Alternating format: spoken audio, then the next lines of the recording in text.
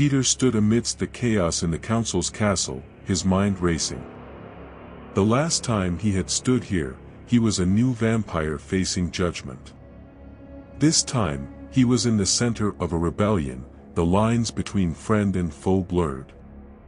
Adrian, his sire, was leading the rebel vampires against the council's enforcers. He had always been a loner, a rule breaker, but seeing him in this new light was jarring. Peter watched as Adrian fought, his movements precise and deadly, his eyes ablaze with determination. Beside him, Seraphina, the woman he had come to love despite the circumstances, struggled against her chains. She met his gaze, her eyes filled with defiance and an unspoken plea. She wanted him to choose, to stand with her against the council. Peter felt a knot in his stomach. He knew he had to make a choice, but he was not ready. Suddenly, a loud crash echoed through the room, and a group of council enforcers broke through the rebel lines. They headed straight for Seraphina, intending to take her down. Peter's heart pounded in his chest as he saw them approach. He knew what he had to do. Summoning his strength, Peter broke free from his chains and lunged at the attackers. He fought them off, his vampire abilities giving him an edge. But the enforcers were strong, and there were too many of them. As he was engaged with one, another slipped past him, heading straight for Seraphina. No! Peter shouted, but it was too late. The enforcer plunged a silver stake into Seraphina's heart. She gasped, her eyes wide with shock before they slowly faded. She fell to the ground, lifeless. Seraphina. Peter cried out, rushing to her side. He cradled her in his arms, his heart shattering into pieces. He had lost.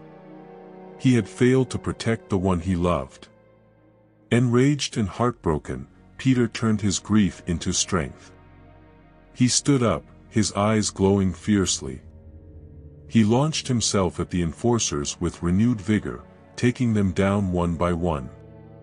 Seeing Peter's ferocity, the other rebels rallied.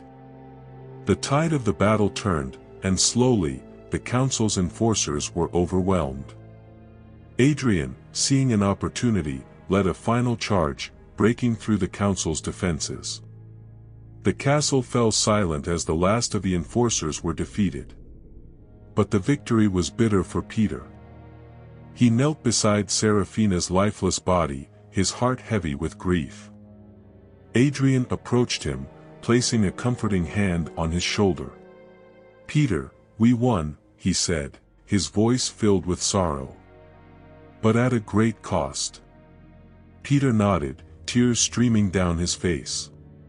What now? he asked, his voice barely a whisper. Now, Adrian replied, we bring change. We make sure her death wasn't in vain. As the sun began to rise, casting long shadows in the devastated castle, Peter stood up.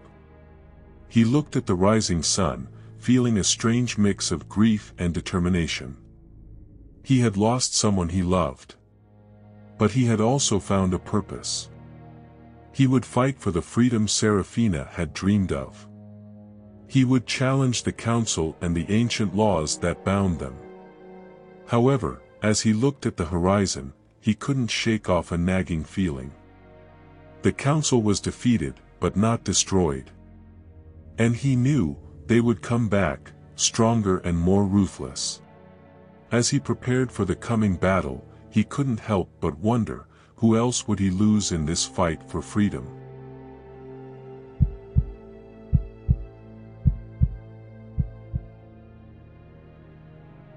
In the wake of the battle, the rebel vampires had turned the council's castle into their stronghold. Peter, now a leader among them, spearheaded their efforts to bring about change. He was driven by a singular goal, to make sure Seraphina's death wasn't in vain. The council, although defeated, was far from destroyed. The surviving members had retreated into the shadows, licking their wounds and planning their return. They wouldn't give up their power so easily, and Peter knew that. One night, a spy brought news of a planned attack by the council. They were gathering their forces, preparing for a strike that could potentially wipe out the rebellion. Peter realized that the inevitable confrontation he had been dreading was close at hand.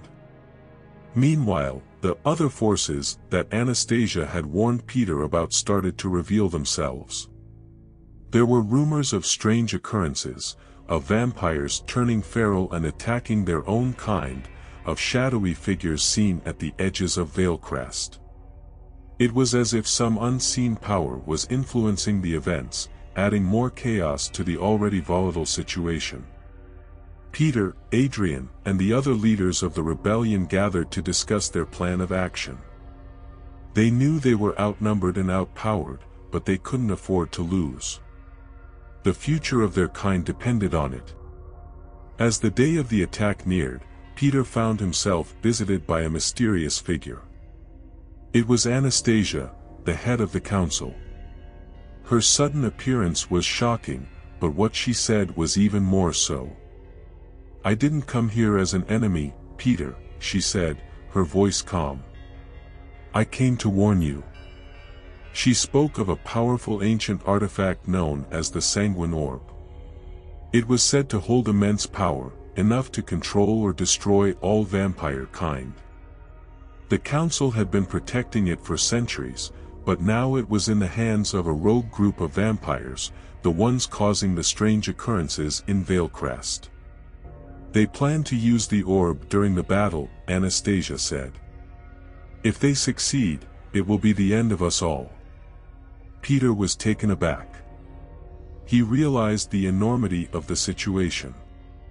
This was not just a fight against the council anymore. It was a fight for survival, a fight against an enemy that threatened to wipe out their existence. As Anastasia disappeared into the night, Peter was left with a heavy burden.